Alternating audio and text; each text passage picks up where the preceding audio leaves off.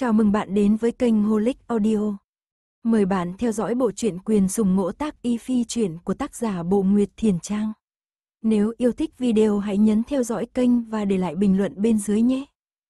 Chương 186, hung thủ điên giải, 1. Từ Hà lo lắng đứng chờ ở cửa tần phủ, nhìn không được hỏi nha sai bên cạnh, tại sao đi lâu như vậy rồi vẫn chưa quay về. Sai dịch nha môn thấy từ Hà sốt ruột như vậy nên bị thu hút, hắn cũng ngoài người ra ngó ngó về phía đầu con phố dài, ta cũng không biết nữa, từ huynh đệ, rốt cuộc là có chuyện gì mà lại sốt ruột như vậy? Trong phủ đã xảy ra chuyện gì à? Đương nhiên từ Hà không thể nói thẳng, chỉ dám mấp máy môi nói, là có chút việc nhỏ. Nhà sai không đồng ý cho mày, nếu đã là việc nhỏ thì sốt ruột làm gì? Chi phủ đại nhân và thế tử điện hạ hiện tại phải đi bắt rất nhiều người. Tiệm cầm đồ Khánh Nguyên kia làm ăn rất rộng, cho nên tai mắt cũng nhiều, có chút động tĩnh là đã bỏ chạy rồi. Đương nhiên Từ Hà hiểu rõ điều này, thế nhưng chuyện bên trong tần phủ cũng không thể coi thường. Hai, nếu như thế tử điện hạ quay lại thì tốt quá, cũng không cần thiết phải cả hai cùng quay về. Có điều đã lâu như vậy vẫn không có tin tức gì. Nói xong Từ Hà lại tiếp tục, ta nhớ rõ tiệm cầm đồ Khánh Nguyên là ở phía Tây Thành. Trên phố Đông Tứ, nhà sai gật đầu, sao nào, người muốn tự mình đi tìm mà. Từ Hà đã đồng ý với Tần Hoan, hiện tại có lẽ Tần Hoan đã mở được bức tranh kia ra rồi, trong lòng hắn càng sốt ruột hơn nữa. Từ Hà nhìn xung quanh một lúc xong định đi ra chỗ người gác cổng mượn một con ngựa, thế nhưng khi hắn vừa mới xoay người thì ở đầu đường đã vang lên tiếng vó ngựa. Từ Hà dừng lại, vội vàng nhìn về phía đầu đường. Là đi về phía chúng ta à? Bóng đêm đã buông xuống từ lâu, thế nhưng trên trời lại không có mặt trăng cho nên mới nhìn rõ được ngàn vạn vì sao nằm rải rác khắp nơi. Trên con phố dài có rất ít đèn, chỉ có thể mơ hồ nhìn thấy bóng dáng vài người đang cưỡi ngựa. Hình như là đi về phía chúng ta thật. Nhà sai bên cạnh cũng nói một câu, đáy mắt từ hà hơi sáng lên, mà mấy con khoái mã kia phi cũng nhanh như điện chớp, chẳng mấy chốc sau đã đến phía trước tần phủ, từ hà ngước lên nhìn thì thấy đúng thật là Yến Trì. Yến Chỉ dẫn theo Bạch Phong và Nha Sai ban nãy đi chuyển lời quay về đây. Bọn họ vừa đến trước cửa đã ghim chặt dây cương rồi mạnh mẽ xoay người nhảy xuống ngựa. Yến Chỉ nhìn thấy Từ Hà vẫn đang đứng chờ sốt ruột ở cửa phủ thì trao mày, làm sao thế? Xảy ra chuyện gì? Từ Hà chắp tay hành lễ, sau đó lại đưa tay lên mời, mời điện hạ vào trong phủ trước. Yến Chỉ ném roi ngựa qua cho Nha Sai, sau đó dẫn Bạch Phong vào trong. Từ Hà vừa đi vừa nói, là cửu cô nương muốn gọi người trở về, vừa rồi cửu cô nương phát hiện ra người hạ độc tần lão gia là ai, ngoài ra cửu cô nương lại còn biết rõ thêm chuyện khác nữa, bởi vì liên quan lớn đến vụ án cho nên muốn chờ người quay lại rồi mới nói cho người nghe. Yến chỉ vừa nghe thấy thế liền bước nhanh đến nội viện, hiện tại nàng ở đâu? Tại Đinh Lan Huyền, a đúng rồi, Cửu cô nương vừa rồi tìm được một bức tranh có vẻ như vẽ nhị di nương, có điều bởi vì thời gian quá lâu rồi nên không thể mở ra. Hiện tại chắc là cửu cô nương đã mở được cuộn tranh ra rồi. Đáy mắt Yến chỉ hơi sáng lên, chân bước nhanh hơn nữa đi thẳng về hướng Đinh Lan Uyển. Từ Hà đi sát theo sau Yến Chỉ, Yến Chỉ đi nhanh như gió nên Từ Hà gần như phải chạy thì mới có thể đuổi kịp. Từ Hà thở hồng hộc, chẳng bao lâu sau đã đến phía trước Đinh Lan Uyển. Bạch Phong tiến lên phía trước gõ cửa như thường lệ, gõ hai lần thì thấy một tỷ nữ mặt tròn mắt to đi ra mở cửa. Ơ, là vị thị vệ đại ca này. Người mở cửa ra là Vãn Đào, nàng nhận ra Bạch Phong, nhìn nhìn hắn rồi lại nhìn qua Yến trì và Từ Hà đứng phía sau lưng hắn rồi trợn tròn mắt. Bạch Phong nói, thế tử điện hạ muốn gặp cửu cô nương. Vãn Đào mở to mắt, quay đầu nhìn thoáng qua nhà giữa tối đen như mực, tiểu thư chúng ta vẫn còn chưa quay lại. Bạch Phong trao mày, sau đó liếc mắt một cái thấy nhà giữa đúng là vẫn còn chưa lên đèn, nếu như Tần Hoan có ở trong viện thì bên trong nhà giữa không thể không thắp đèn. Bạch Phong quay đầu lại nhìn Yến Trì, nghe thấy cuộc đối thoại này thì lông mày Yến Trì càng nhíu chặt lại. Bạch Phong quay đầu lại nhìn Từ Hà, cửu cô nương không quay về, sao ngươi nói nàng đã về rồi? Từ Hà kinh ngạc giây lát, tại hạ cùng cửu cô nương tách ra là ở ngay trước cửa viện, Lúc ấy cửu cô nương nói chuyện này tốt nhất phải sớm một chút báo cho thế tử điện hạ hoặc là chi phủ đại nhân cho nên tiểu nhân mới nhận làm việc truyền tin này rồi mới đứng chờ ngoài cửa phủ. Lúc tại hạ tách ra thì cửu cô nương đúng thật là nói phải quay trở về Đinh Lan Uyển. Hơn nữa lúc ấy Phục Linh vẫn còn đang cầm cuộn tranh kia. Yến chỉ nghe thấy thế đáy mắt tối lại, không biết tại sao mà trong lòng cứ có một cảm giác không tốt lắm. Hắn tiến lên hai bước nhìn vãn đào, tiểu thư các ngươi không trở về, thế còn Phục Linh thì sao? Nghe thấy Yến chỉ hỏi như vậy, vãn đào cúi đầu không dám nhìn thẳng, chỉ cung kính nói, Phục Linh tỷ tỷ vẫn theo hầu hạ bên cạnh tiểu thư, tiểu thư không trở về thì đương nhiên Phục Linh tỷ tỷ cũng không trở về. Trái tim Yến chỉ lại chịu nặng, nhìn thoáng qua khoảng sân yên lặng tối như mực sau đó xoay người nhìn sang nhưng chỗ khác trong phủ. Bóng đêm đã buông xuống, thời giờ cũng không còn sớm nữa, sao Tần Hoan còn có thể đến chỗ nào được chứ? Yến chỉ tiến lên vài bước, Bạch Phong lại quay sang Vãn Đào nói, đợi lát nữa nếu như cửu tiểu thư quay về thì nói cho nàng ấy điện hạ đến tìm nàng. Vãn Đào cung kính vâng lời, sau đó Bạch Phong mới gật đầu rời khỏi. Vãn Đào nhìn bóng lưng Bạch Phong và Yến Trì trong giây lát sau đó mới nhẹ nhàng đóng cửa viện lại. Còn phía bên này, Từ Hà sốt ruột nói, chẳng lẽ cửu cô nương lại đi sang bên phía tiền viện. Từ Hà vừa hỏi vậy thì Yến Trì cảm thấy cũng có khả năng này nên lập tức đi về hướng tiền viện, vừa rồi ngươi nói cửu cô nương phát hiện ra người hạ độc Tần An. Từ Hà nghe vậy đáy mắt sáng lên, đúng vậy, lúc trời vừa tối thì tiểu nhân kiểm tra lại công văn, thư tín mấy hôm trước điện hạ mang tin tức từ Dương huyện về và các loại hồ sơ khác. Tiểu nhân vốn định mang về phủ nha nhưng điện hạ nói đến hỏi cửu cô nương cho nên tiểu nhân mới đứng ngoài cửa chờ cửu cô nương. Chẳng bao lâu sau đã nhìn thấy cửu cô nương đi từ phía đông đến. Cửu cô nương nói chuyện mấy câu với tiểu nhân, sau đó cửu cô nương chợt thấy trên một bức thư viết là phu quân của nhị di nương có tật không phân biệt được màu sắc. Có lẽ trước đây TTDN và chi phủ đại nhân không chú ý đến điểm này, lúc ấy không biết cửu cô nương nghĩ đến cái gì mà hoài nghi đến một hầu nô trong phủ tên là Thái Hà. Nghe được hai chữ, Thái Hà, bước chân Yến chỉ ngừng hẳn lại, Thái Hà. Từ Hà gật đầu, đúng vậy, có vẻ như trước đó cửu cô nương đã phát hiện ra cái gì, có điều cửu cô nương nói bệnh này cũng không thể xác định, sau đó nói tốt nhất có thể tìm ra được tranh vẽ nhị di nương. Lúc bọn ta đến tiền viện hỏi lại hai lão bộc kia xem còn chỗ nào có thể tìm ra tranh vẽ hay không. Kết quả là nhìn thấy một tiểu nô rửa bình thuốc không sạch. Cửu cô nương phát hiện ra không đúng, vừa nhìn mới biết được hóa ra người kia thừa dịp tiểu nô đi rửa bình thuốc mới bỏ độc vào bên trong bình. Bước chân Yến chỉ nhanh hơn một chút, cửu cô nương có nói muốn lập tức đi bắt người hay không? Từ Hà vội vàng lắc đầu, chưa từng chưa từng, Cửu cô nương sợ bứt dây động rừng nên trước mắt muốn tìm thêm chứng cứ nữa. Lúc bọn ta đến tiền viện thì lão bộc kia dẫn cửu cô nương đến một thư phòng khác bên trong tiền viện.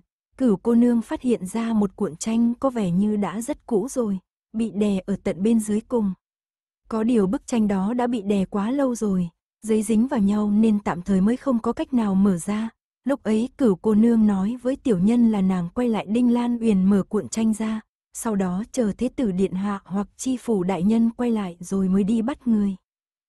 Đôi mắt phượng của Yến Trì nheo lại, Tần Hoan làm việc đương nhiên suy tính chu toàn hơn so với những người khác một chút, hiện giờ hắn và Hoắc Hoài Tín đều không có ở đây, nàng không có lý do gì đi bắt người cả.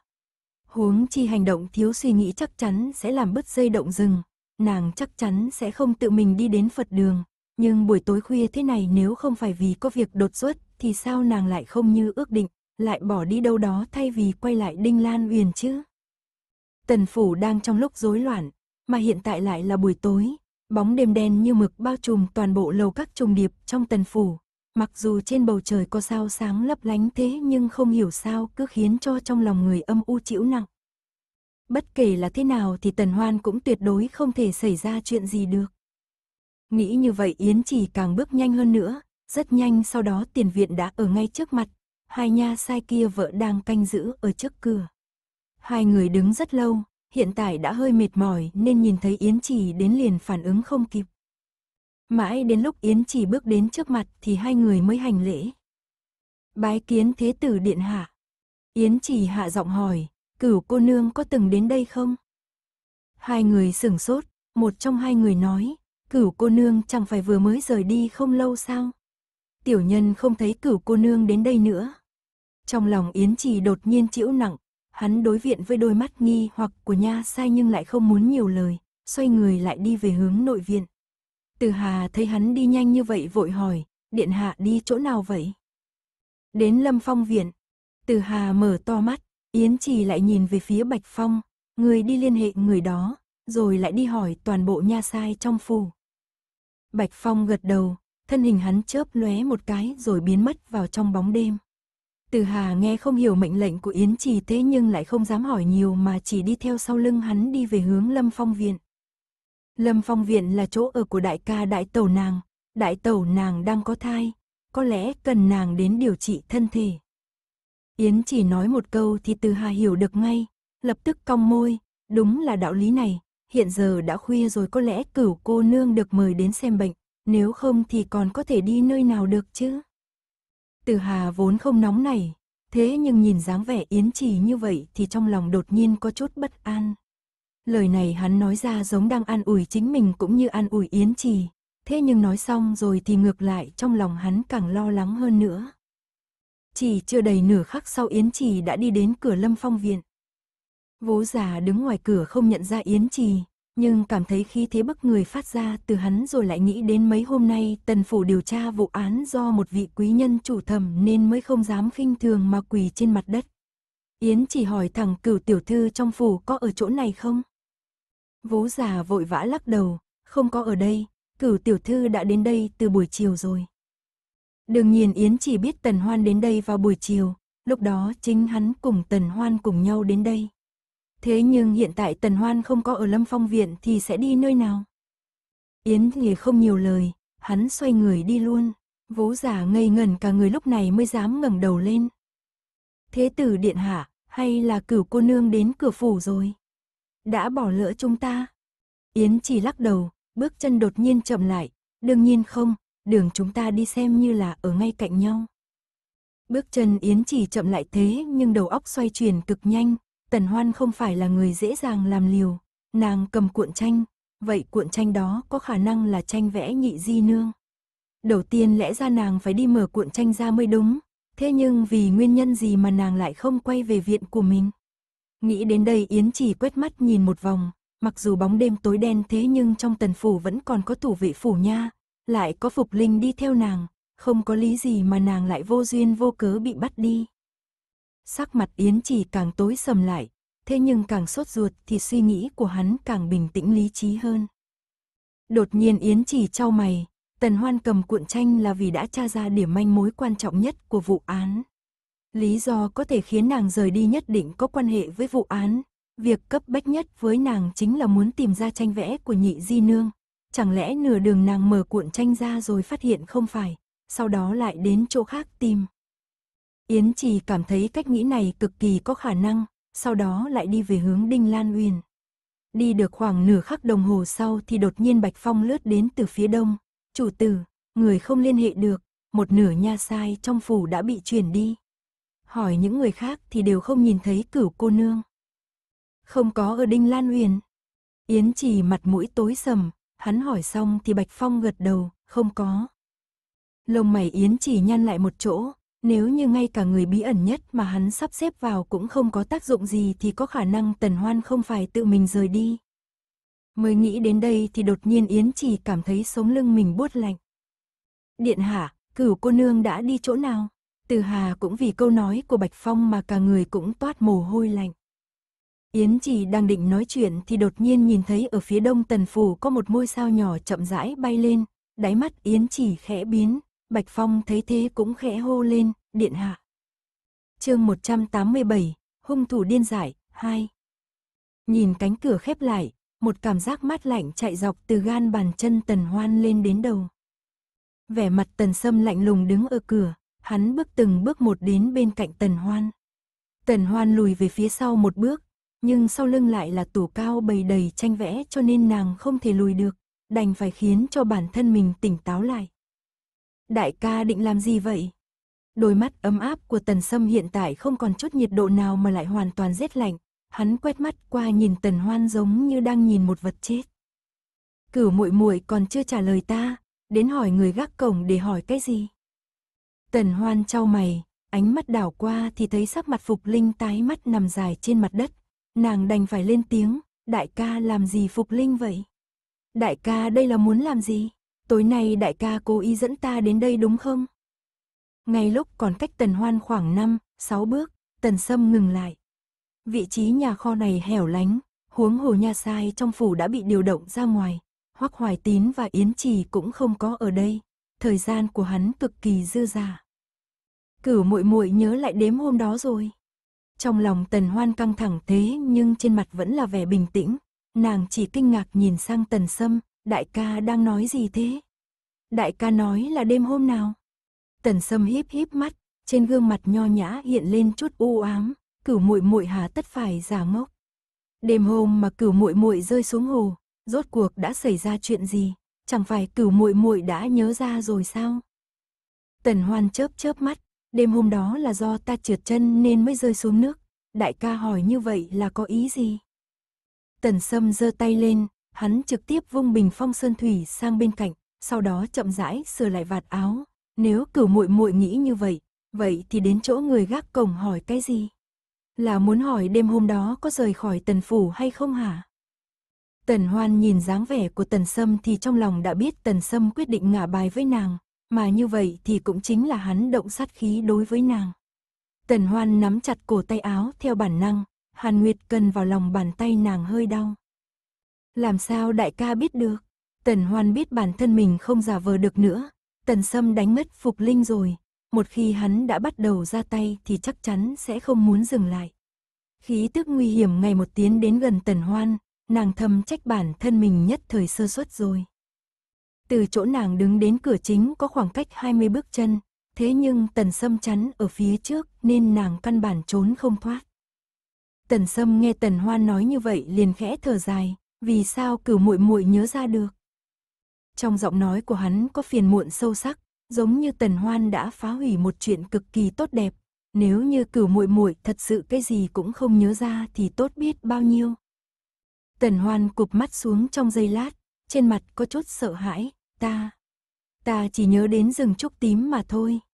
Khóe môi Tần Sâm hơi cong, chẳng trách, chẳng trách người luôn luôn chạy về phía tây. Tần Hoan nhìn chằm chằm vào Tần Sâm, một lát sau trên mặt tràn đầy vẻ đau xót nói, cho nên, cho nên đêm hôm đó, người ta gặp được chính là ngươi. Thấy Tần Hoan có chút kinh ngạc và thương tâm, ngược lại Tần Sâm thở dài, là ta. Tần Sâm nói xong hai chữ này thì trái tim Tần Hoan khẽ run lên. Hắn đã thừa nhận, ngay lúc nàng còn chưa thật sự đến hỏi người gác cổng thì Tần Sâm đã thừa nhận rồi. Đêm hôm đó là hắn, là hắn giết cừu tiểu thư, mà một người khác, ngoại trừ Thái Hà thì không còn ai khác cả. Tần Hoan luôn luôn suy nghĩ cửu tiểu thư vì sao bị giết, nghĩ tới nghĩ lui suy đoán có lẽ cửu tiểu thư đụng phải cái gì đó làm khơi lên sát tâm của người khác. Trước đây nàng đã từng hoài nghi Lưu Xuân và Liễu Thị, thế nhưng hôm nay quả nhiên là Tần Sâm. Tần Sâm chính là thiên chi kiêu tử trong tần phủ, là đại thiếu gia với dáng vẻ ôn nhuận nho nhã, vậy mà chỉ vì một thái hà mà động thủ giết người. Khóe mắt Tần Hoan co giật, Tần Hoan nhìn Tần Sâm cười khổ một cái, sao đại ca có thể nhẫn tâm như vậy? Vẻ mặt Tần Hoan tràn đầy đau khổ thất vọng, giống như không thể tiếp thu được Tần Sâm là người hại chính mình. Trong mắt Tần Sâm cũng có vài phần tiếc nuối, ta vốn dĩ thương hại ngươi bơ vơ, thế nhưng ngươi lại cứ đi theo ta vào trong rừng trúc tím. Cửu muội muội, ngươi không thể trách ta. Thân thể Tần Hoan theo bản năng lùi lại đằng sau, càng tỏ ra vẻ nhu nhược sợ hãi, đại ca yêu thích Thái Hà đến thế sao? Nàng hỏi câu này khiến Tần Sâm hơi sững sờ dây lát, thế nhưng rất nhanh sau đó vẻ mặt hắn đã lấy lại được vẻ bình tĩnh lạnh lùng. Ngươi không hiểu những thế này, thế nhưng ngươi đã biết được chuyện không nên biết. Cửu muội muội, đừng trách đại ca. Nói đến đây đột nhiên Tần Sâm chậm rãi tiến lên phía trước. Tim Tần Hoan đập mạnh, cuộn tranh nắm trong tay rơi, bục, một tiếng lăn lộn trên mặt đất. Ngay lúc cuộn tranh rơi xuống đất, lăn đi một đoạn khiến cho bức tranh bên trong mở ra một nửa. Trên giấy vẽ hiện ra một nữ tử toàn thân mặc y phục xanh tràn đầy thanh xuân, nữ tử khoảng 20 tuổi, mặt mày như tranh, đôi mắt thông minh, ngũ quan tinh xảo, tóc mượt như mây. Làn váy nàng phản chiếu xuống dưới mặt hồ, giống hệt như nàng tiên hoa sen vén nước bay lên. Mặc dù người là cảnh tĩnh, thế nhưng kỹ thuật vẽ tranh của tác giả quả thật bất phàm. Suối tóc nàng tung bay trong gió đẹp như một làn mây, khiến cho người nhìn có cảm giác như mái tóc đó đang thật sự động đậy. Dù cho ai nhìn thấy được cũng đều vì thế mà kinh ngạc không thôi. Hồ Hất tần hoan ngừng hẳn lại, nữ tử trong tranh khí chất thuần khiết trong sáng. Thế nhưng đôi mắt kia vừa đẹp vừa cực kỳ quen mắt, còn có dáng vẻ gò má và ngũ quan, càng cảm thấy cực kỳ quen thuộc. Đôi mắt tần hoan hơi trọn to, Thái Hà, quả nhiên là một Thái Hà khác. Nhị di nương mặc hoa phục mỏng, lông mày và đôi mắt trong veo nhưng vẫn rất quyến rũ. Nếu so sánh thì Thái Hà có lẽ do đã quen làm nô tỳ biết vâng lời, cách ăn mặc cũng cực kỳ đơn giản cho nên khí chất cũng kém xa so với nhị di nương. Thế nhưng nhìn vào gương mặt nữ tử trong tranh, không khó để tưởng tượng ra vài năm nữa Thái Hà cũng sẽ trổ mã càng lúc càng xinh đẹp. Thái Hà, Thái Hà quả nhiên là nữ nhi của nhị di nương. Trận lửa lớn năm đó, nữ nhi trong nhà nhị di nương vậy mà lại chưa chết. Trong lòng tần hoan chấn động, nhưng vừa ngước lên thì tần sâm đã đi đến sát bên cạnh nàng rồi. Trái tim tần hoan như bị bóp nghẹt, vội vàng chỉ lên bức tranh đang nằm dưới đất, đại ca. Ngươi nhìn xem, trước đây ngươi cũng đã từng gặp nhị di nương, tranh này có đúng là vẽ nhị di nương không? Đại ca nhìn kỹ xem, người trên bức tranh này chẳng phải cực kỳ giống với một người nào đó trong phủ này sao? Giọng nói tần hoan cấp bách, thế nhưng tần sâm lại có vẻ như không muốn nói thêm câu nào với nàng nữa. Hắn lại bước đến gần thêm một bước, bàn chân chẳng chút lưu tình nào trực tiếp dẫm lên trên cuộn tranh. Tần hoan thấy hắn hoàn toàn không để ý đến liền vội vàng nói, đại ca, là Thái Hà. Thái Hà là nữ nhi của nhị di nương, ngươi xem đi. Nàng vừa dứt lời thì ánh mắt tần sâm lóe sáng, tần hoan thấy hắn để tâm nghe thì lại tiếp tục nói, đại ca tỉnh lại đi, Thái Hà vào phủ là có mục đích khác, cái chết của Lưu Xuân và Liễu Thị cực kỳ có khả năng liên quan đến nàng ta. Thậm chí, thậm chí đại ca cũng là quân cờ để nàng ta lợi dụng. Trong thuốc dưỡng thai của đại tẩu cũng từng bị người ta hạ độc, chính là Thái Hà làm. Đáy mắt Tần Sâm như có ánh sáng vụt lên rồi lại tắt, Cửu Muội Muội đang nói cái gì? Đã đến lúc này rồi Cửu Muội Muội còn định nói mấy lời này để làm ta dao động à? Vừa nói chuyện thì nắm tay Tần Sâm cũng siết chặt lại. Tần Hoan nhìn thấy hắn dần dần nổi lên hung ý. Nàng biết bản thân mình không thể đọ sức cùng hắn nên vội vàng chỉ vào cuộn tranh dưới đất. Ta không hề lừa gạt đại ca, đại ca nhìn bức chân dung này mà xem. Năm đó chuyện của nhị di nương thảm thiết đến vậy, Thái Hà làm sao có thể thật lòng yêu thích đại ca được. Nàng ta chỉ lợi dụng đại ca mà thôi. Người im miệng. Khi còn cách tần hoan hai bước chân, tần sâm gầm nhẹ một tiếng, cả người đột nhiên trở nên hung bạo, nắm đấm siết chặt bên cạnh người vung lên về phía tần hoan, ngay lập tức túm chặt lấy cổ nàng. Tần hoan chỉ cảm thấy cổ mình đau đớn, nhát mắt tiếp theo thân thể liền bị tần sâm đẩy lên dính chặt vào tủ cao. Ngón tay tần sâm dùng lực, trực tiếp khiến cho tần hoan đau đến mức mặt mũi tối sầm lại. Khoảnh khắc đó tần hoan giống như cảm nhận được sự sợ hãi của cửu tiểu thư đêm ngày 21 tháng 7. Đó là một loại sợ hãi khi bản thân mình trực tiếp đối diện với kẻ ác, mà tính mạng của bản thân mình lại bị nắm chặt ở trong tay hắn. Mồ hôi lạnh tràn ra trên trán tần hoan, nàng vùng vẫy, hai tay cào xé cổ tay tần sâm, khụ, khụ, ta, lừa gạt đại ca, làm gì, liễu thị, lưu xuân, chết, là, để, gợi ra chuyện năm đó. Cổ họng tần hoan đau đớn, sắc mặt bị ngộp thờ khiến cho đỏ bừng lên, thế nhưng nàng vẫn ra sức nói chuyện. Bốn mắt nhìn nhau, hung ý trong đáy mắt tần sâm đột nhiên bị thay thế bởi vẻ trần chờ hắn dần dần nhìn xuống cuộn tranh nằm dưới đất. Cùng lúc đó, bàn tay nắm cổ của tần hoan cũng dần buông lỏng, trong lòng nàng kiên quyết, tiếp tục cố sức nói, nàng là đến để báo thù, đại ca bị nàng lừa rồi. Lông mày tần sâm nhíu chặt lại, hắn vừa bóp cổ tần hoan vừa nhìn chằm chằm vào cuộn tranh dưới đất. Cả người như đang đấu tranh giữa kinh ngạc và đau khổ, đúng lúc này tần hoan nắm chặt lấy hàn nguyệt trong tay áo, mạnh mẽ đâm thẳng vào cổ tay tần sâm. Thân hình tần sâm cao lớn, tay dài chân dài, sức lực cũng không yếu, hắn chỉ dùng một tay nắm lấy cổ tần hoan cũng đủ khiến cho nàng không còn sức nào mà vùng vẫy nữa. Ngay lúc hắn đang tập trung nhìn bức tranh, trong đầu nghiền ngẫm xem lời Tần Hoan nói là thật hay giả, hắn không ngờ được rằng Tần Hoan yếu đuối vẫn đang vùng vẫy kia lại dám phát động công kích mà đâm hắn một nhát. Tay áo của hắn bị cắt đứt, cổ tay cũng đau đớn tê dại hoàn toàn, trong nháy mắt tay phải Tần Sâm trở nên mềm nhũn nên hắn rụt trở về theo bản năng. Ngay giây phút đó Tần Hoan trơn tuột rơi xuống giống hệt như một con cá, bàn tay Tần Sâm đã bị thương nên dù có muốn bắt cũng không thể dùng lực được nữa nên Tần Hoan Nhân lúc đó chạy về phía cửa. Mặc dù bị thương ở tay thế nhưng hắn đã động thủ rồi thì làm sao có thể dừng lại được. Nhìn Tần Hoan chạy ra cửa thì bàn tay còn lại của Tần Sâm cầm cuộn tranh lên ném về phía Tần Hoan.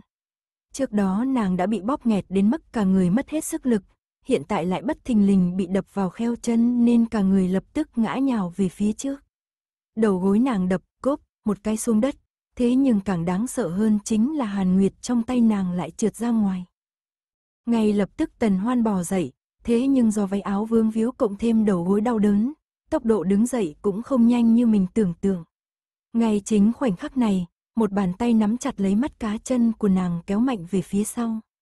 Tần Hoan bất ngờ không kịp phòng ngự lại bị kéo ngã xuống đất một lần nữa, còn Tần Sâm lại nhảy một bước lên phía trước. Lúc Tần Hoan ngẩng đầu lên thì Hàn Nguyệt đã bị hắn nắm ở trong tay. Cửu muội muội, nữ nhi ra sao lại mang theo một con dao sắc như vậy bên mình? Tay phải Tần Sâm chảy máu, máu tươi lan ra khắp áo gấm màu xanh của hắn biến thành màu tím đen. Tay trái hắn nắm lấy Hàn Nguyệt, tay phải buông thõng xuống vô lực, thế nhưng khóe môi lại treo cao nụ cười, ánh mắt nhìn chằm chằm vào Tần Hoan. Đêm hôm đó, Cửu Muội Muội chỉ biết khóc lóc van xin, nhưng lần này lại không giống thế. Giả ngu ngốc đã dùng, yếu thế cũng đã dùng, đối diện với tần sâm sức lực lớn hơn mình gấp mấy lần lại còn cầm con dao sắc bén trên tay, trong lòng tần hoan âm thầm chịu nặng, thế nhưng trên mặt vẫn hoàn toàn là vẻ tỉnh táo. Tần sâm tiếp tục nhìn nàng chằm chằm, sau đó chợt nhăn mặt lại, tựa hồ như có chút khó hiểu, đêm hôm đó rõ ràng cửu muội muội đã chết hẳn rồi, ta còn trông coi thi thể rất lâu, sau đó mới ném xuống hồ ngay cả không bị ta bóp chết thì chắc chắn cũng sẽ chết đuối, thế nhưng sau này cửu muội muội lại chết đi sống lại. Tần Sâm siết chặt Hàn Nguyệt trong tay, sau đó hắn chậm rãi đi đến trước mặt Tần Hoan vẫn đang ngã trên đất, từ từ ấn Hàn Nguyệt lên trên cổ nàng. Phản kích vừa rồi của Tần Hoan đã trở nên vô ích, hiện tại nàng không còn sức phản kích thêm lần nữa, lại còn để mất đi vũ khí tốt nhất. Tần Sâm cũng cảm thấy được rằng Tần Hoan sẽ không còn sử dụng được thêm bất kỳ nước cờ nào nữa cho nên mới không vội vàng tiến Tần Hoan vào chỗ chết. Cửu muội muội, người biến hóa quá lớn rồi. Rào găm vẫn ấn nguyên trên cổ Tần Hoan, thế nhưng nàng chỉ hơi cụp mắt xuống, không khóc không kêu la, thậm chí ngay cả run rẩy thân thể cũng không có. Ngoại trừ hô hấp hơi căng thẳng ra thì sự chấn định của Tần Hoan vượt xa khỏi dự liệu của Tần Sâm. Hắn nhìn chằm chằm vào Tần Hoan, hắn nói ra hết những mối nghi hoặc mà bấy lâu nay hắn không biết bày tỏ cùng ai. Nếu như bị thương mất trí nhớ thì cũng không thể nào tính tình hoàn toàn thay đổi. Đôi khi thậm chí ta còn cảm thấy ngươi không phải cửu muội muội trước kia, trước kia ngươi yếu đuối dễ bị bắt nạt, khiến cho người khác cực kỳ chán ghét. Hiện tại ngươi lại không như vậy, đột nhiên ngươi biết y thuật cao siêu, lại còn có tính tình trầm ổn như vậy nữa. Cửu muội muội, rốt cuộc ngươi là ai? Tim Tần Hoan đập mạnh, nhưng giọng nói lại lạnh nhạt, đại ca nghĩ sao?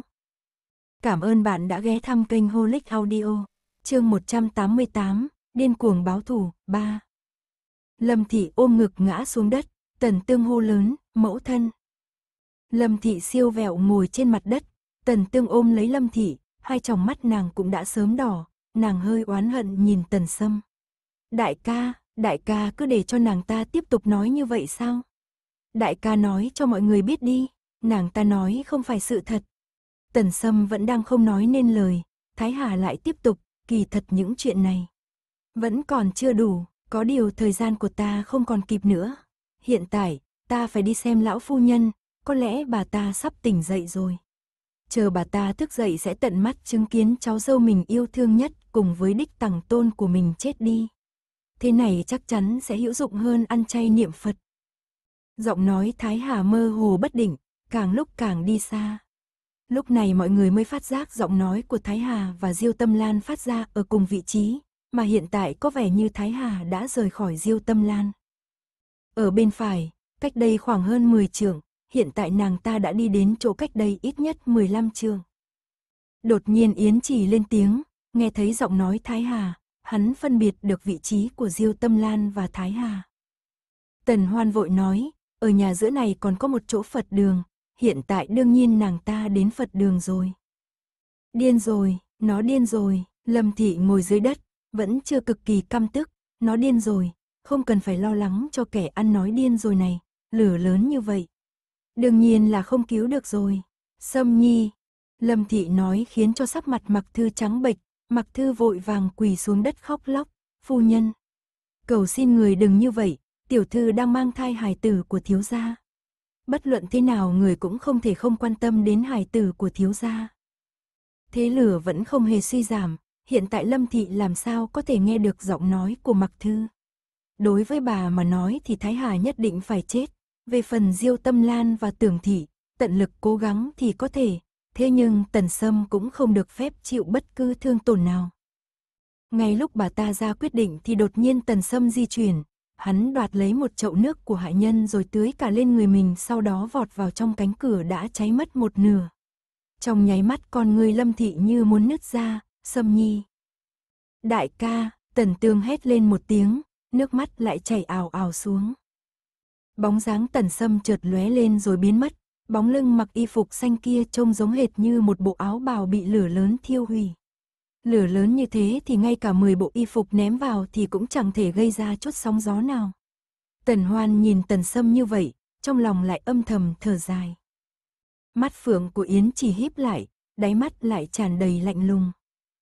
Sâm Nhi à, Sâm Nhi của ta, Sâm Nhi của ta, nhìn Tần Sâm phóng vào trong, trung quy lại thì Lâm Thị vẫn không nhịn được mà khóc giống lên. Bà ta không biết mình có thể làm cái gì, lại liếc sang nhìn Yến Trì, bà ta ngồi thẳng dậy, vội vàng vừa quỳ vừa lết mà đến trước mặt Yến Trì. Thế tử điện hạ, thế tử điện hạ, cầu xin người cứu lấy bọn họ đi, cầu xin người nghĩ cách. Yến nhìn nhìn dáng vẻ khóc lóc bi thương của Lâm Thị thì lông mày hơi nhíu lại, lửa lớn như vậy, không ai có thể. Yến chỉ nói chuyện, Bạch Phong ở phía xa xa đang ra sức chỉ huy hại nhân bê nước.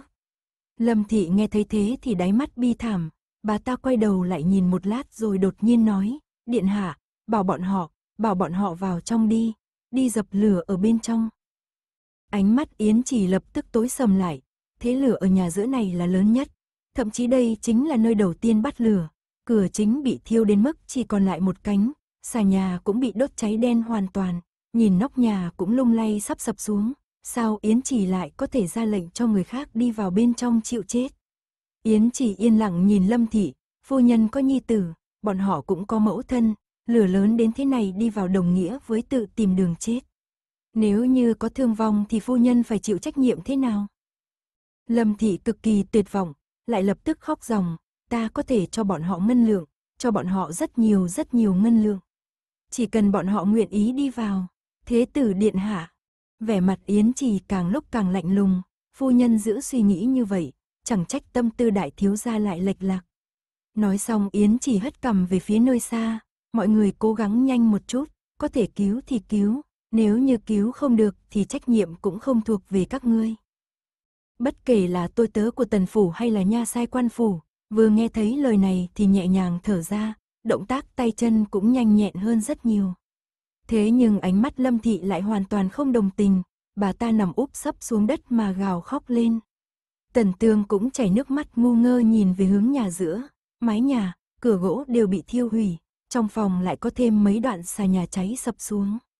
Nhìn tình cảnh này, Tần Tương cảm thấy Tần Sâm nhất định không còn cách nào sống sót ra ngoài, ngay lập tức lệ tuôn như suối. Đây chính là ngọn lửa báo thù, Tần Hoan căn bản không quan tâm sống chết của Tần Sâm, thế nhưng trong đầu luôn luôn hiện ra dung mạo giống như búp bê sứ của Diêu Tâm Lan, trong lòng nàng cực kỳ bi thương. Đôi bàn tay trắng như phấn của nàng siết chặt lại, chỉ hy vọng Tần Sâm có thể thật sự cứu được Diêu Tâm Lan ra ngoài. Lo lắng và căng thẳng của nàng bị Yến Chỉ nhìn thấy hết. Hắn nhìn thoáng qua cửa sổ thế lửa hừng hực kia, đột nhiên hướng đến một bên, có hai người hầu khiêng một thùng nước đi đến. Yến Chỉ đi đến cầm lấy thùng nước của bọn họ sau đó đi đến cửa sổ đã không còn khung cửa kia. Hắn rời đi lặng yên không tiếng động, đến khi Tần Hoan phát hiện ra thì hắn đã chạy đến sát cửa sổ. Điện hạ, Tần Hoan vội vàng gọi một tiếng, trong chớp mắt Bạch Phong cũng nhìn thấy được Tần Sâm. Chủ tử, hai người trước sau cùng hô lên, thế nhưng vẫn không ngăn cản được bước chân của Yến Trì. Hắn xách theo thùng nước, nhảy lên cửa sổ rồi đi vào trong phòng, cũng giống hệt như Tần Sâm, bóng dáng Yến Trì bị ngọn lửa nhoáng lên một cái rồi biến mất, giống hệt như vừa mới bị ngọn lửa cắn nuốt vậy. Tần Hoan vội vàng tiến lên trước hai bước, sắc mặt đột nhiên thay đổi. Từ Hà và Bạch Phong cũng tiến lên, Bạch Phong vén áo lên định nhảy vào thì Từ Hà giữ chặt lấy tay Bạch Phong, Bạch Thị về. Người không thể vào trong. Sắc mặt Bạch Phong đã sớm thay đổi, hắn vung tay lên đẩy Từ Hà ra. Tốc độ hắn vô ảnh vô tung, vừa mới vung tay một cái đã vụt vào giữa ngọn lửa bên trong cửa sổ. Hốc mắt Tần Hoan run rẩy kịch liệt, trái tim như bị bóp nghẹt. Từ Hà cay đắng kêu lên, giờ, giờ phải làm sao mới phải? Nếu như thế tử điện hạ xảy ra bất cứ sự cố gì thì phải làm thế nào đây? Tần Hoan không hiểu Yến Trì vì sao mà vào, nhưng trong khoảnh khắc mồ hôi lạnh tràn ra khắp thái dương nàng. Lúc bị Tần Sâm kiềm chế, Hàn Nguyệt ấn chặt trên cổ nàng thì cũng không hề hoảng sợ như vậy. Hiện tại nàng phải liều mạng chấn định bản thân mình, thế nhưng một chút bình tĩnh cũng không còn nữa. Cho mọi người, để cho mọi người tạt nước vào trong phòng này, mau. Giọng nói tần hoan run rẩy lời này vừa dứt thì nha sai xung quanh liền tập trung hết lại đây. Nhóm nha sai cùng nhìn thấy Yến Chỉ lao vào nên tất cả đều run sợ lo lắng, chỉ sợ Yến Chỉ xảy ra sơ suất gì. Tần Hoan siết chặt lấy cổ tay áo, nàng sốt ruột đi qua đi lại tại chỗ. Sắc mặt Từ Hà cũng đau khổ, thế nhưng hắn nhìn lửa lớn cháy hừng hực thì hắn biết nếu như hắn xông vào thì chắc chắn là tự tìm đường chết. Tần Hoan gần như không dám nhìn thẳng vào trong phòng kia, thế nhưng đột nhiên nghe, rầm, một tiếng, một gian phòng ở ngay gần cửa sổ này có một cái xà nhà rơi xuống từ trên nóc. Xà nhà bị cắt đôi thành hai đoạn, ngọn lửa bên trên vẫn rực sáng. Từ Hà căng thẳng đến mức run rẩy, không, không thể sập được. Tần Hoan ngay lập tức dừng chân lại, ánh mắt chuyển sang bên phía phòng trong, ngọn lửa hừng hực, thế nhưng hoàn toàn không hề thấy bóng dáng của Yến Trì và Bạch Phong. Nàng cảm thấy tim đập mạnh đến mức sắp vọt ra khỏi cổ họng rồi, nhưng lại không hề có biện pháp gì đối phó cả. Không chỉ có một mình Tần Hoan sốt ruột mà toàn bộ người trong viện cũng bị thu hút. Vừa mới giây phút trước tôi Yến chỉ nói rằng không cần nha sai hay tôi tớ bọn họ tiến vào bên trong cứu người. Thế nhưng giây phút sau thì hắn lại tự mình lao vào trong đám cháy. Hắn lại còn là duệ thân vương thế tử điện hạ cao cao tại thượng nữa chứ. Cửu cô nương, từ hà cũng nghẹn ngào, nếu như... Từ hà đang định nói, nếu như điện hạ không ra được thì phải làm sao? Thì đã thấy trong mắt đang vô cùng lo lắng của tần hoan lại sáng lên. Từ Hà xoay người lại ngay lập tức, chỉ thấy ngọn lửa cắn nuốt cửa sổ, thế nhưng có hai bóng dáng đang tập tĩnh đi ra. Từ Hà vội vàng kêu lên, điện hạ, điện hạ. Hắn vừa gọi thì bóng dáng kia lại đến gần hơn một chút, vừa nhìn đã phát hiện ra đó là Tần Sâm đang ôm Diêu Tâm Lan đi ra. Bên ngoài Lâm Thị gào khóc bồ nhào vào chỗ ngoài cửa sổ, Tần Hoan lại nhìn về hướng đằng sau của Tần Sâm. Thấy Tần Sâm xuất hiện, toàn bộ người bên ngoài cửa sổ lại tập trung tưới nước vào bên trong. Rất nhanh sau đó Tần Sâm ôm Diêu Tâm Lan đi đến bên cửa sổ, Tần Hoan liếc mắt thấy trên người Tần Sâm và Diêu Tâm Lan cháy xém loang lổ. Mặc dù tóc ướt nhẹp che trên mặt thế nhưng nhìn dáng vẻ kia Tần Hoan không cần suy nghĩ đã biết thùng nước trong tay Yến chỉ chắc chắn đã đổ lên người Tần Sâm và Diêu Tâm Lan. Sâm Nhi, con ta, đại ca, đại tẩu. Bên ngoài có người hỗ trợ, rất nhanh Tần Sâm đã ôm được Diêu Tâm Lan ra khỏi đám cháy. Lâm Thị và Tần Tương khóc lóc bổ nhào đến, đại bộ phận người bên ngoài thở dài nhẹ nhõm một hơi. Thế nhưng Tần Hoan vẫn ngơ ngẩn đứng ở bên ngoài cửa sổ, bước chân hoàn toàn không nhúc nhích. Yến chỉ đâu, Bạch Phong đâu? Trong lòng Tần Hoan nóng như lửa đốt, đúng lúc này nghe, rầm, một tiếng, trong phòng lại có thêm hai xà nhà nữa rơi xuống. Từ Hà sợ hãi hô lên một tiếng, sắc mặt đã hoàn toàn trở nên bi thống, điện hạ. Điện hạ ngài. Vừa nói xong thì mặc dù trong phòng hoàn toàn không có động tĩnh gì, thế nhưng trên nóc nhà cuồn cuộn khói đen kia đột nhiên xuất hiện hai bóng dáng. Từ Hà, a, lên một tiếng, hô hấp Tần Hoan nhất thời ổn định lại, nàng ngửa đầu lên, chỉ thấy hai bóng dáng đó nhảy lên từ trong khói đen, ngay lập tức kẻ trước người sau từ trên trời giáng xuống. Tần Hoan ngơ ngẩn nhìn Yến Trì toàn thân nhiễm khói bụi đen ngòm rơi xuống trước mặt mình. Bàn tay siết chặt cổ tay áo của nàng chưa hề nới lỏng, thế nhưng khi nhìn rõ Yến Trì rồi thì đột nhiên trong lòng nàng nảy sinh ra một cảm giác chua xót như giống như chính mình vừa mới sống sót sau tai nạn. chương 189, Tâm Lan sinh con, 1 Cho đen bám đầy lên khắp y phục của Yến Trì, vạt áo lại càng có nhiều chỗ bị lửa đốt cháy, còn Bạch Phong rơi xuống phía sau lưng hắn lại càng chật vật hơn, trên áo trắng của hắn toàn bộ bị nhiễm bẩn, sau lưng lại bị đốt thùng hẳn một lỗ lớn. Thế nhưng khi nhìn thấy hai người trước sau đều ra ngoài đầy đủ thì tất cả mọi người không nhịn được mà thở dài nhẹ nhõm. Tần Hoan ngửa đầu lên nhìn Yến Trì, nhất thời không nói chuyện, cũng không nhúc nhích. Yến Trì ho nhẹ hai tiếng, giơ tay lên vỗ vỗ quần áo của chính mình, thế nhưng khi nhìn thấy bụi đen tung bay loạn xả thì hắn vội vàng lui về phía sau một bước. Đến khi hắn phủi y phục mình xong thì Tần Hoan ở bên này vẫn chưa hề nhúc nhích. Yến chỉ nhăn mày, hắn bình tĩnh nhìn sang Tần Hoan, làm sao thế? Từ Hà ở bên cạnh cũng sốt ruột đầu đầy mồ hôi, nghe thấy thế liền nói, vừa rồi đột nhiên điện hạ lao vào đám cháy, cửu cô nương bên ngoài lo lắng đến hỏng rồi, tiểu nhân chưa bao giờ nhìn thấy cửu cô nương như vậy. Tần Hoan nhất thời thanh tỉnh lại thần trí, nàng quay đầu trừng mắt lườm Từ Hà một cái, sau đó quay lại thì bắt gặp đôi mắt tràn đầy ý cười của Yến Trì. Thấy Yến Trì cười cười thì không hiểu sao trong lòng Tần Hoan thấy không được tự nhiên, vẻ mặt nàng lạnh lùng nói, Điện Hạ có nghĩ đến không, nếu như vào trong rồi không ra được nữa thì bọn ta phải làm sao? Vừa mới dứt lời thì Tần Hoan liếc mắt nhìn thấy một vết cháy trên vai trái Yến Trì. Áo khoác của hắn bị đốt cháy đen, bởi vì màu đen cho nên hiện tại không biết là có bị thương hay không. Tần Hoan trao mày, bị thương. Ý cười nơi đáy mắt Yến trì vẫn chưa tiêu tán, không việc gì. Người lại lo lắng cho ta. Tần Hoan cảm thấy lời hắn nói khiến cho ánh lửa càng bùng cháy, cũng khiến cho mặt nàng ngày một nóng lên. Nàng muốn phản bác thế nhưng lại không biết phải nói thế nào cho phải. Mà câu trả lời này của Yến trì cũng chính là ngầm thừa nhận hắn bị thương rồi. Tần Hoan lại nói, mặc dù chỉ là vết thương nhỏ, thế nhưng vẫn nên nhìn xem. Yến trì lắc đầu, chỉ nhìn sang Bạch Phong. Tần Hoan hơi bất an nên cũng nhìn sang Bạch Phong. Từ Hà lại nhanh chân hơn Tần Hoan. Hắn chạy ra đằng sau lưng nhìn chỗ y phục bị đốt cháy của Bạch Phong rồi quay sang Tần Hoan nói. Cửu cô nương, bị rách chốt ra rồi. Có lẽ là do bị ngọn lửa đốt chúng. Tần Hoan gật đầu ghi nhớ trong lòng. Đang định hỏi Yến Trì rốt cuộc là thương tổn nghiêm trọng đến đâu thì đột nhiên bên kia Diêu Tâm Lan đau đớn kêu lên một tiếng. Lâm Thị khóc lóc nói, Tâm Lan, Tâm Lan, con đừng sợ, con đã ra ngoài rồi. Nếu như không phải dùng thương tổn hay tính mạng của Tần Sâm ra đánh đổi thì Lâm Thị vẫn cực kỳ muốn cứu Diêu Tâm Lan. Diêu Tâm Lan được Tường Thị sùng ái chủ yếu vì tính tình cực kỳ tốt.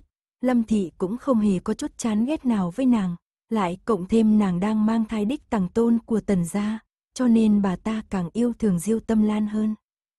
Diêu Tâm Lan được Tần Sâm đặt nằm thẳng trên mặt đất, Lâm Thị ôm lấy nửa người trên của nàng, trên người nàng cùng với Tần Sâm đều bị khói hun đen xì, trên váy áo nàng đều bị ngọn lửa tạt cháy xém từng mảng. Vạt áo Tần Sâm cũng bị thiêu hủy mất một nửa, trên thân cả hai người những vết thương nhỏ đương nhiên không thiếu, nhưng may mà đều không hề đáng ngại. Nhớ kỵ Diêu Tâm Lan có thai, Tần Hoan vội vàng chạy đến trước mặt Diêu Tâm Lan. Lâm Thị còn đang dùng khăn lau đi bụi đen bám trên mặt Diêu Tâm Lan, nàng ho nhẹ hai tiếng rồi mở to mắt ra. Diêu Tâm Lan ngơ ngác nhìn Lâm Thị, lại nhìn thấy Tần Sâm đang đứng bên cạnh đám người Tần Hoan, hốc mắt đỏ lên sau đó ngay lập tức rơi lệ. Tâm Lan đừng sợ, Sâm Nhi đã cứu con ra ngoài rồi. Lâm Thị lại khẽ an ủi một câu, Diêu Tâm Lan quay người lại tóm được bàn tay Tần Sâm, Sâm ca. Mặt mày tần sâm bám nhiều cho bụi hơn nhiều so với Yến Trì và Bạch Phong. Hắn cầm lấy tay Diêu Tâm Lan, hốc mắt cũng hơi chút ẩm ướt. Lan Nhi, ta nói rồi, ta sẽ cứu nàng ra ngoài. Diêu Tâm Lan mím môi, nhất thời không biết nói gì, chỉ theo bản năng sờ xuống bụng mình, tựa như xác định lại hài tử của chính mình có còn mạnh khỏe hay không. Nước mắt Lâm Thị lã chã rơi xuống, thật tốt quá, quá may mắn. Lâm Thị vừa nói xong chữ cuối cùng thì đột nhiên Tần Sâm nói, mẫu thân, tổ mẫu vẫn còn ở bên trong. Lâm Thị vừa nghe thấy thế thì sắc mặt lập tức thay đổi, không thể. Sâm Nhi, còn cứu được Tâm Lan ra ngoài thì đã tận lực rồi. Đáy mắt Tần Sâm u ám không nhìn ra được cảm xúc, vừa giống như toàn bộ cảm xúc đều cuộn trào lên cực kỳ phức tạp, lại giống như mờ mịt chỉ còn lại hắc ám. Hắn đặt tay Diêu Tâm Lan lên tay Lâm Thị, sau đó lập tức đứng dậy. Sâm Nhi, Sâm ca, Lâm Thị gào lên một tiếng bi thương, Diêu Tâm Lan cũng ngay lập tức ngồi dậy, túm chặt lấy vạt áo Tần Sâm, nước mắt nàng lại tuôn trào, Sâm ca muốn đi đâu?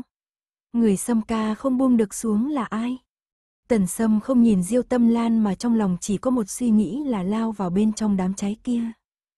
Lan Nhi, ta không thể bỏ mặc tổ mẫu.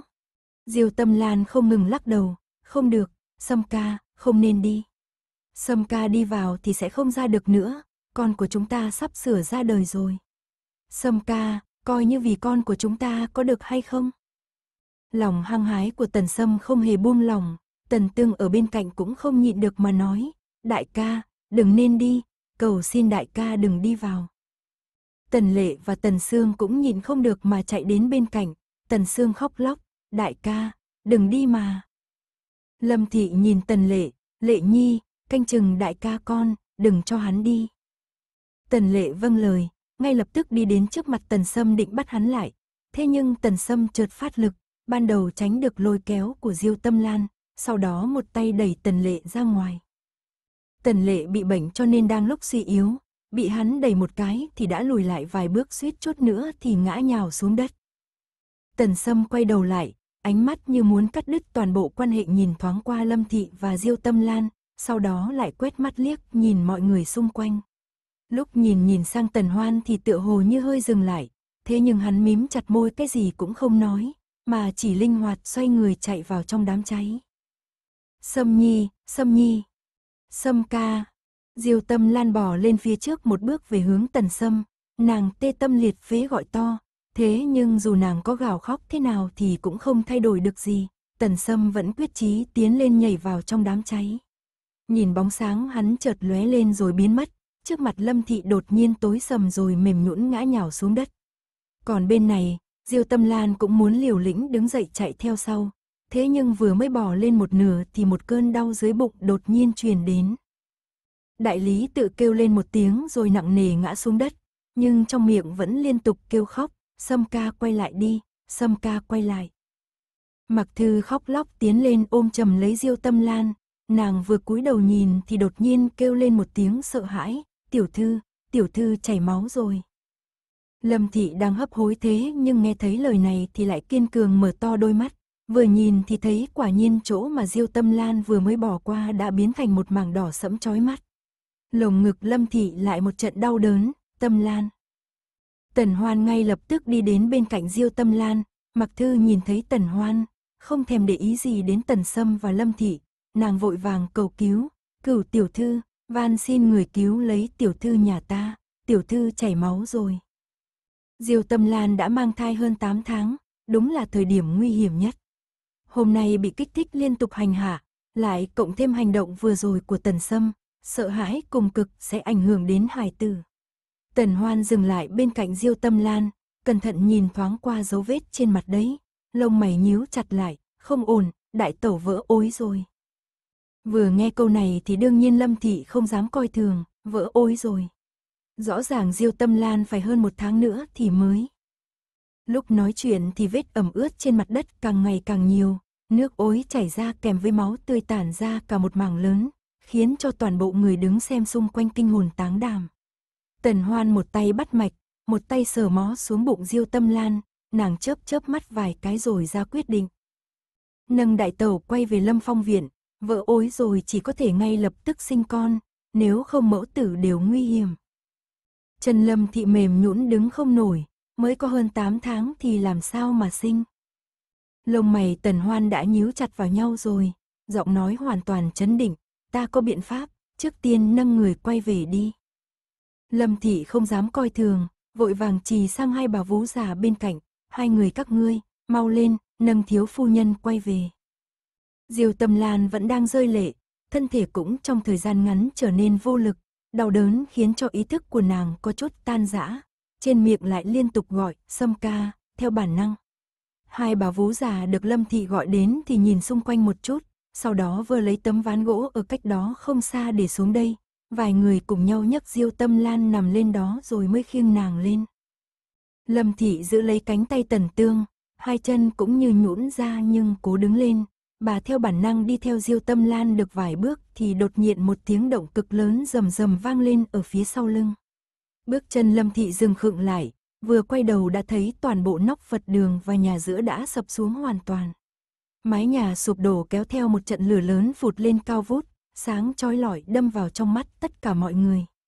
Lâm Thị giống như bị sét đánh mà đứng thất thần ngay tại chỗ, chỉ mới kịp hô lên một tiếng, xâm Nhi, rồi ngay lập tức ngất xỉu.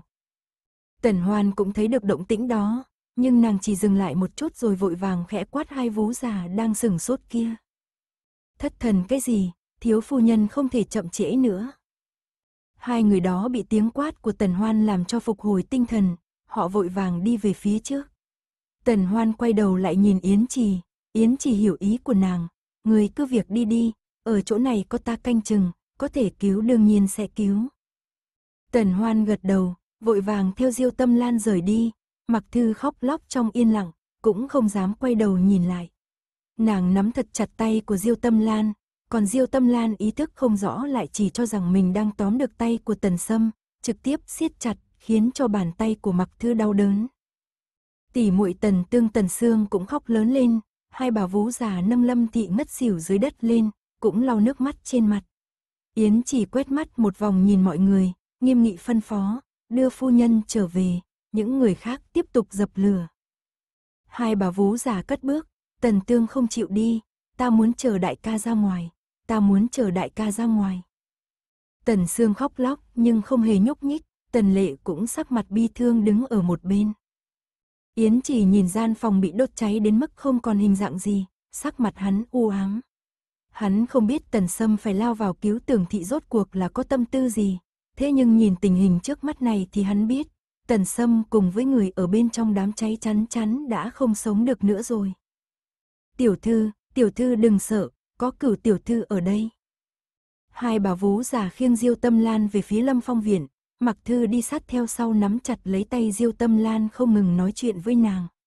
Thế nhưng Diêu Tâm Lan hít vào thì nhiều mà thở ra chẳng được bao nhiêu, trong miệng vẫn thì thào, Sâm ca đừng đi. Mặc Thư quay đầu nhìn thoáng qua Phật đường, nhìn thấy thế lửa chỉ tăng chứ không giảm, nước mắt rào rào rơi xuống. Tiểu thư, đại thiếu gia không đi, tiểu thư cứ yên tâm. Diêu Tâm Lan vẫn đang không ngừng thì thào, Mặc Thư cũng không ngừng an ủi. Có vẻ như Diêu Tâm Lan nghe được lời Mặc Thư nói, nên lúc này mới ngoan ngoãn nằm im. Thế nhưng rất nhanh sau đó lông mày nàng lại nhíu chặt lại, đau. Đau quá. Mặc Thư đau lòng không chịu được, tiểu thư đừng sợ, cửu tiểu thư ở ngay trong này, cửu tiểu thư sẽ chữa khỏi cho tiểu thư.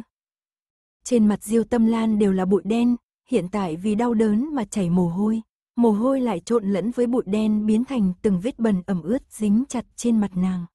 Mặc Thư đau lòng lau chùi, bàn tay Diêu Tâm Lan nắm lấy tay nàng lại dần dần không có khí lực. Cửu tiểu thư làm sao bây giờ, bàn tay tiểu thư sắp không có lực nữa rồi. Tần Hoan bước nhanh đi theo sau cùng, nghe thấy thế mới căn dặn, không cần hoảng, cứ đi về trước, sau đó ngay lập tức chuẩn bị dược liệu. Mặt mũi mặc thư toàn là nước mắt, thế nhưng nhìn Diêu Tâm Lan dưới tình huống này thì chỉ có thể cứng rắn nhịn xuống không hoảng loạn nữa. Hai bà vú già khiêng Diêu Tâm Lan đi cực kỳ ổn định, thuận lợi đến thẳng Lâm Phong Viện. Vừa vào trong viện thì hai bà vú già cũng cực kỳ kinh ngạc. Phật đường bị cháy náo loạn khiến cho toàn bộ người tần phủ đều biết, người trong lâm phong viện đã bị điều đi một nửa, còn một nửa ở lại canh chừng. Tất cả mọi người đều biết Diêu Tâm Lan đến Phật đường cho nên trong lòng đều lo lắng không thôi, không ngờ được là lo lắng đã biến thành sự thật. Đặt thiếu phu nhân lên giường, giúp nàng cởi y phục bên ngoài ra. Hai người nữa, đi nấu nước nóng, lấy rượu trắng và vải bông đến đây. chương 190, Tâm Lan sinh con 2 Vừa vào cửa viện Tần Hoan đã căn dặn hai câu, hai vú giả tuân mệnh rồi đi chuẩn bị nước nóng và đồ vật. Tần Hoan và Mặc Thư cùng theo Diêu Tâm Lan vào trong, Diêu Tâm Lan được khiêng thẳng vào trong phòng rồi đặt nằm trên giường. Tần Hoan vừa đi đóng cửa sổ ở bốn phía lại vừa phân phó Mặc Thư, để lại áo lót là được, lấy chăn gấm đắp lên người đại tẩu để tránh cảm lạnh, sau đó lau chùi cả người đi. Mặc Thư vừa lau nước mắt vừa làm theo. Tần Hoan lại đi ra ngoài, mấy bà vú già đứng ở ngoài hiên chờ căn dặn. Tần Hoan lập tức nói, thiếu phu nhân các ngươi sắp sinh rồi, hiện tại tất cả mọi người phải giữ vững tinh thần không được để xảy ra sơ suất. Mấy vú già liên tục đáp lời, Tần Hoan lập tức căn dặn, đi nấu canh sâm, lại lấy thêm cây chi mẫu và mật ong. Những thứ này đều là thuốc bổ, hai vú già ngay lập tức tuân lệnh rồi xoay người rời khỏi. Thế nhưng còn chưa đi được hai bước thì Tần Hoan lại nói, còn nữa, đến dược phòng lấy túy tâm hoa, sinh thảo ô, hương bạch chỉ, đường quy, xuyên khung, mỗi loại bốn tiền, thiên nam tinh hai tiền, tất cả đều phải nghiền thành bột. Mau lên! Tần Hoan bước lại gần rồi vén áo lót Diêu Tâm Lan lên nhìn. Diêu Tâm Lan mới mang thai hơn 8 tháng, sương mờ u vẫn chưa mở hết, thế nhưng nước ối đã vỡ, cổ tử cung cũng đã mở ra. Tần Hoan hít nhẹ vào một hơi, trước tiên cầm máu đã, đại tẩu thế này này rồi thì chắc chắn không thể tự mình sinh được đâu. Giờ thử xem sao đã, nếu thật sự không được chỉ có thể dùng cách mổ bụng để lấy hài tử ra. Sắc mặt mặc thư trắng bệch, cái gì cơ? Mổ bụng tiểu thư. Giọng nói mặc thư run rẩy đột nhiên tần hoan lại khẳng định, người có tin tưởng ta không? Giọng nói bình tĩnh của tần hoan khiến cho mặc thư chấn động, nàng ngơ ngác nhìn tần hoan dây lát, hai mắt đẫm lệ gật đầu, tin. Nô tỳ tin tưởng cửu tiểu thư. Tiểu thư cũng tin tưởng cửu tiểu thư. Cửu tiểu thư, tiểu thư nhà ta xin giao cho người. Tần Hoan gật đầu, được, vậy ngươi ở đây giúp ta một tay. Mặc thư gật đầu lia lịa, còn bên này diêu tâm lan mấp máy môi, đau. Sâm ca, ta đau quá. Tần Hoan nghe câu này trong lòng cũng chẳng dễ chịu gì, nàng lại gần bắt mạch cho diêu tâm lan, sau đó lại lấy ngân châm trong tay áo ra đâm lên huyệt kiên tình của diêu tâm lan. Ở bên ngoài, mấy bà vú già rất nhanh đã mang về những đồ tần hoan vừa phân phó. Cửu tiểu thư, nước đun rồi, rượu cũng nấu sôi rồi. Hàn Nguyệt trong tay áo Tần Hoan, trên đó vẫn còn dính máu của Tần Sâm. Tần Hoan rửa sạch sẽ xong sau đó lại dùng rượu mạnh rửa lại Hàn Nguyệt một lần nữa, rồi căn dặn mấy người, dùng rượu để rửa toàn bộ vải bông sau đó hong khô, lại đi tìm dây gai đến đây. Lời Tần Hoan căn dặn chính là mệnh lệnh vàng ngọc, mấy vú già không dám chậm trễ, vội vàng nghe lệnh hành sự đã từng có kinh nghiệm lần trước cứu thái trưởng công chúa.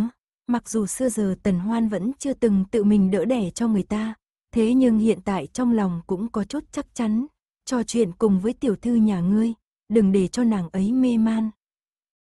Mặc thư vội vàng ghé vào tay Diêu Tâm Lan rồi thì thầm, tiểu thư tiểu thư, đừng có ngủ, tiểu thư có nhớ hôm nay lão gia gửi thư đến không? Lão gia nói phái người đến thăm tiểu thư. Mặc Thư liên tục nói chuyện với Diêu Tâm Lan, thế nhưng giọng nói Diêu Tâm Lan lại càng lúc càng yếu ớt.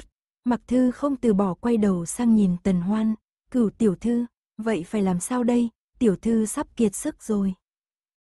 Vẻ mặt Tần Hoan luôn bình tĩnh, trong mắt lại hơi tối xuống, canh sâm, cho nàng uống một bát canh sâm đi. Mặc Thư từ sớm đã rối loạn, chỉ có thể nghe Tần Hoan điều khiển mà thôi. Vừa nghe thấy câu này thì Mặc Thư xoay người chạy vù ra ngoài. Tần Hoan dùng vải bông thấm ướt rượu nóng, rửa sạch toàn bộ phần bụng dưới của Diêu Tâm Lan, rất nhanh sau đó đã thấy Mặc Thư bê canh sâm tiến vào. Đút cho nàng uống hết đi.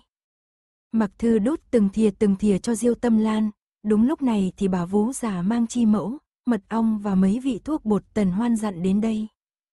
Tần Hoan rửa sạch tay, bóp chi mẫu thành bột phấn rồi dùng mật ong vo lại thành viên tròn, đợi cho mặc thư đút canh sâm xong thì lại đút viên mật ong vừa rồi cho Diêu Tâm Lan. Chờ trong giây lát, nhìn thấy máu bớt chảy rồi thì Tần Hoan mới bắt đầu nhổ ngân châm ban nãy ra. Ngân châm vừa nhổ ra, đôi mắt khép hờ của Diêu Tâm Lan cũng rất nhanh đã mở ra. Mặc Thư vui vẻ, bên này Tần Hoan ra lệnh, chuẩn bị bắt đầu. Lời Tần Hoan nói khiến cho trong lòng Mặc Thư căng thẳng, còn chưa kịp an ủi Diêu Tâm Lan thì đầu Diêu Tâm Lan đã chảy đầy mồ hôi rồi kêu lên một tiếng thảm thiết. Tần Hoan vội hỏi, đại tẩu, thử một lần xem, nếu có thể tự mình sinh thì cứ tự sinh đi. Mặc Thư nghe vậy vội nói, tiểu thư, tiểu thư, không phải sợ đau, cố chịu đựng. Tần Hoan tách hai chân Diêu Tâm Lan ra, cẩn thận nhìn trong giây lát, đại tẩu, hải tử sắp ra ngoài rồi. Đại tẩu dùng sức. Đáy mắt Diêu Tâm Lan tràn đầy hơi nước, thế nhưng khi nghe được lời Tần Hoan nói thì lại cố dùng sức theo bản năng. Thế nhưng chỉ mới dùng lực có chút xíu thì đã đau đớn đến tê tâm liệt phế, nàng tuyệt vọng lắc đầu, ta, ta không cố được, ta sắp chết rồi. Tiểu thư sẽ không chết, tiểu thư kiên trì một chút. Diêu tâm lan lắc đầu, hai chân vô lực buông thõng xuống. Tần hoan gọi hai bà vú già đến, các ngươi lại giúp thiếu phu nhân. Hai bà vú già này tuổi tác không thấp, đương nhiên có một chút kinh nghiệm. Bọn họ đến vừa đỡ lấy chân Diêu Tâm Lan lại vừa nhẹ nhàng xoa bụng nàng. Thiếu phu nhân, dùng lực đi, nếu như người không dùng lực thì hài tử sẽ bị ngạt chết mất. Diêu Tâm Lan nghe lời này cho nên mới lại tiếp tục vùng vẫy cố sức giận ra. Hai tay nàng nắm chặt lấy chăn gấm bên dưới, trên đầu đầy mồ hôi, ngay cả vạt áo cũng ướt sũng. Thế nhưng mặc kệ nàng có dùng lực thế nào thì vẫn không thể nhìn thấy đầu đứa bé thỏ ra, mà máu tươi ban nãy mới ngừng chảy một ít mà hiện tại lại bắt đầu tràn ra. Có hai vú già khác phụ trách lau sạch vết máu, mắt thấy từng chậu từng chậu máu loãng bê ra ngoài, hai vú già đến hỗ trợ sắc mặt trắng bệch. Cửu cô nương, chỉ sợ thiếu phu nhân sinh không được rồi. Giọng nói một người run rẩy, sắc mặt tần hoan kiên quyết, lấy gói thuốc để trên bàn kia, lấy bột của cả sáu vị thuốc trộn lại rồi thêm rượu mạnh, đút cho thiếu phu nhân ăn vào. Mặc thư ngay lập tức xoay người, đương nhiên là tần hoan phải phòng bị trước để tránh tai họa.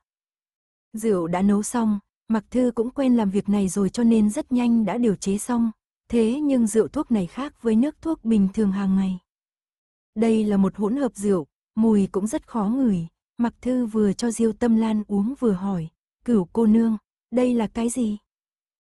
Ma phí tán. Tần Hoan trả lời rành mạch rồi sau đó cầm Hàn Nguyệt bên cạnh lên. Vừa thấy Tần Hoan lấy dao ra, hai bà vú đưa mắt nhìn nhau rồi sau đó liền thấy Tần Hoan vén áo diêu tâm lan lên, mùi rượu thoang thoảng cùng với mùi máu tươi bay ra khắp phòng. Tần Hoan thấy diêu tâm lan đã nuốt hết ma phi tán vào rồi, Tần Hoan vừa chờ đợi vừa ra dấu gì đó trên cái bụng phồng to của diêu tâm lan. Hai bà vú già nhìn thấy thì trong lòng run rẩy, đợi khoảng nửa khắc sau hai người họ không thể tin được mà nhìn Tần Hoan rạch một dao vào bụng Diêu Tâm Lan. Cửu tiểu thư, không thể. Sắc mặt hai người trắng bệch như ma quỷ, một người hô lên còn một người lại chân tay mềm nhũn ngã nhào trên mặt đất.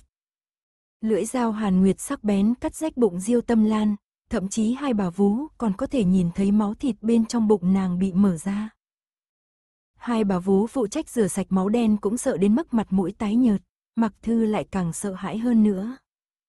Thế nhưng đối diện với toàn bộ người trong phòng đang chấn động thì vẻ mặt của Tần Hoan lại bình tĩnh hoàn toàn không thay đổi gì. Nàng chăm chú nhìn vào lưỡi dao, nhìn Diêu Tâm Lan từng tấc từng tấc máu thịt bị rạch ra, nàng dùng một loại bình tĩnh cực độ để an ủi trái tim sợ sệt của Mặc Thư. Đừng có kêu to, cửu tiểu thư là y tiên đương thời, chỉ có nàng ấy mới có thể cứu thiếu phu nhân.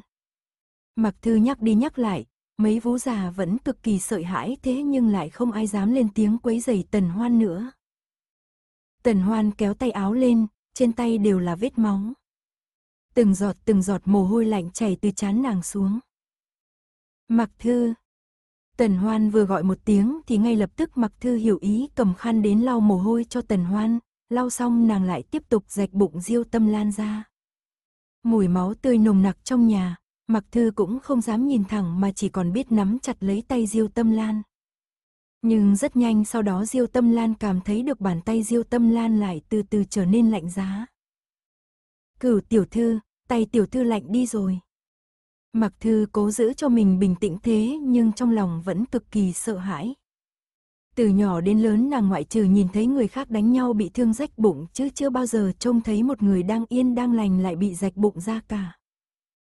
Thần sắc tần hoan vẫn hoàn toàn bình tĩnh, giống như chưa hề nghe thấy lời mặc thư nói. Vũ già trong phòng đưa mắt nhìn nhau một cái, mặc dù không mở miệng thế nhưng trong mắt tràn đầy vẻ bi thương. Thiếu phu nhân vốn đã sinh con không đủ tháng, lại còn chảy máu nhiều như vậy, khả năng lớn là không giữ được mẫu tử rồi. Thế nhưng cửu cô nương dùng biện pháp như vậy khiến cho người ta sợ hãi. Nữ nhân mang thai khi sinh sản vốn là đã đi dạo qua quỷ môn quan rồi, lại còn rạch bụng người ra, như thế chẳng phải càng khiến cho thai phụ càng đau đớn không chịu nổi hay sao? Những bà vú này đều là người thân cận mà Diêu Tâm Lan mang từ Kiến Châu đến, nghĩ đến đây hốc mắt mọi người đều đỏ lên.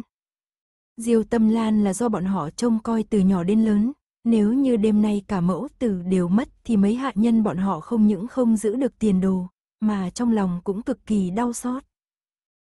Cửu tiểu thư, tiểu thư nhà ta. Mặc thư lại khẽ nói, tần hoan vẫn đang tập trung không nhúc nhích. Trên mặt diêu tâm lan thấm đẫm mồ hôi lạnh, thế nhưng đôi mắt vẫn nhắm chặt. Không chỉ có như vậy, mặc thư thăm dò hơi thở của diêu tâm lan gần như đều không cảm nhận được hơi thở nữa, khiến cho một cảm giác lạnh lẽo chạy dọc từ gan bàn chân mặc thư lên. Mặc thư không trách tần hoan mà trong lòng chỉ thấy đau đớn, những ngày qua diêu tâm lan đã trải qua quá khổ sở rồi, không chỉ thế mà hiện tại ngay cả tên họ cũng phải đòi lại. Đột nhiên Mặc Thư lại thấy cực kỳ căm giận Tần Sâm. Nghĩ đến đây, Mặc Thư không khỏi sững sờ, Tần Sâm thế nào rồi? Hoa! Wow. Mặc Thư chỉ tập trung nhìn Diêu Tâm Lan, bất thình lình một tiếng khóc nỉ non rất nhỏ của trẻ sơ sinh vang lên.